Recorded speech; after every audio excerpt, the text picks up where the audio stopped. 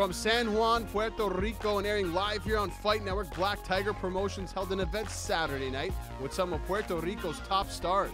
In the main event, the former WBO featherweight champion Juan Manuel Lopez made his return for the first time since 2014, taking on the former WBO super bantamweight champion Wilfredo Vazquez Jr. The son of Puerto Rican great Wilfredo Vazquez, the Vazquez family is one of just a handful of boxing clans to hold championship titles between generations.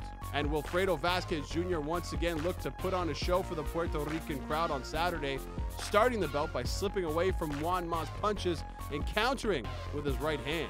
Things would start to get heated in the fourth round with Lopez striking Vazquez in the back of the head during a tie up, and the referee having to separate the fighters before things got out of hand.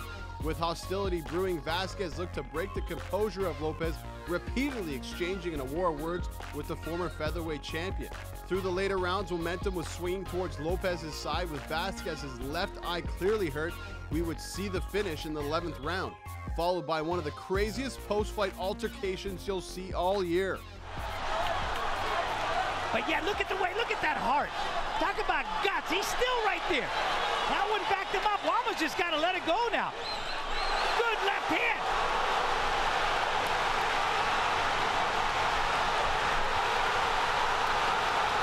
And there you have it. That's it. That's it. And And they're you look at him brawling. now fighting his brother, his trainer. And now it's getting ugly. We're getting soaked. And now we're getting soaked here. It is getting ugly. Our monitor now is totally covered now as bottles now come flying from all different angles. And now the two of them get together. That's a, that's what it's all about.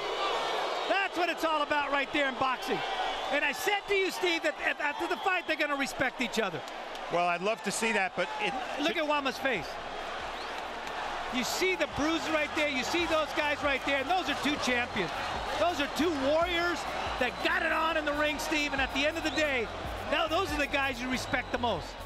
The two men eventually settled their beef with Vazquez shortly afterwards, announcing his retirement, but nevertheless, Juan Manuel Lopez picks up the TKO victory, snapping a two fight losing skid.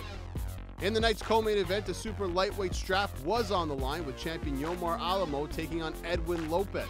It was clear from the jump that Lopez had no business being in the ring with Alamo. Midway through the first round, Lopez took a knee following a left hook that tagged his temple, and in between rounds, cited an injury to his arm, forcing the referee to call a stop to the fight. Picking up the TKO victory, Yomar Alamo improves to 11 0. In a fight you have to see to believe, the top-ranked super middleweight in Puerto Rico, Emil Gonzalez took on his 3-7 opponent, Eric Pinheiro.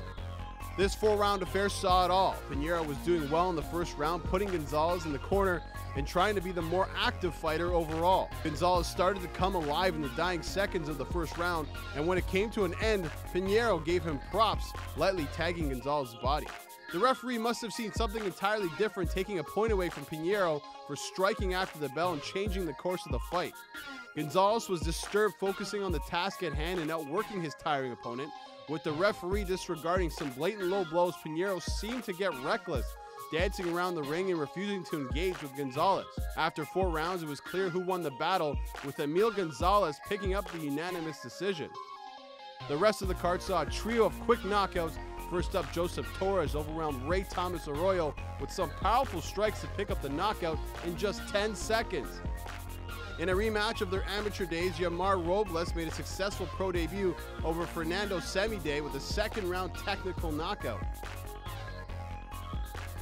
And the brother of Yomar Alamo, whom you saw fight in the night's co-main event, Yamil Alamo, needed just 24 seconds to score the quick knockout over the debuting Jose Gonzalez.